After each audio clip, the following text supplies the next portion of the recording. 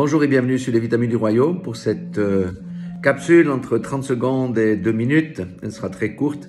Ésaïe 26, 3, un seul verset. À celui qui est ferme dans ses sentiments, tu assures la paix. La paix parce qu'il se confie en toi. Amen. Mais attention, ici il ne s'agit pas des sentiments de l'âme.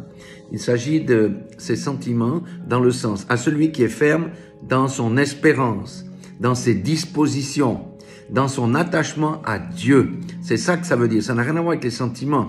Mais c'est vrai notre espérance en Christ. Pourquoi? Parce que nous nous confions en lui.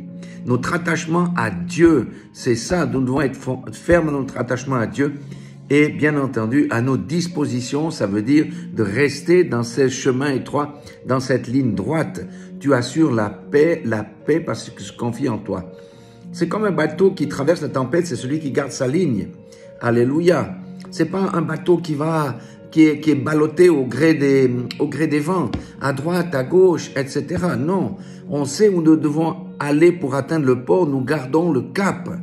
Nous ne changeons pas de cap entre deux. Nous ne nous laissons pas balloter par nos sentiments à droite, à gauche. Nous retournons en arrière, nous voulons courir en avant. Cela n'a rien à voir avec tout ça. La Bible nous dit d'être ferme dans nos dispositions, dans notre attachement à Dieu.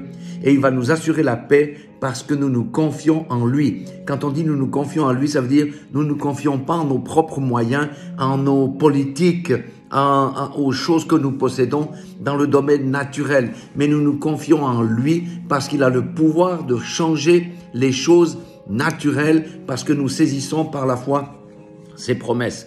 N'oublions pas que Jésus est notre rocher. Soyez tous bénis dans le nom puissant de Jésus-Christ de Nazareth.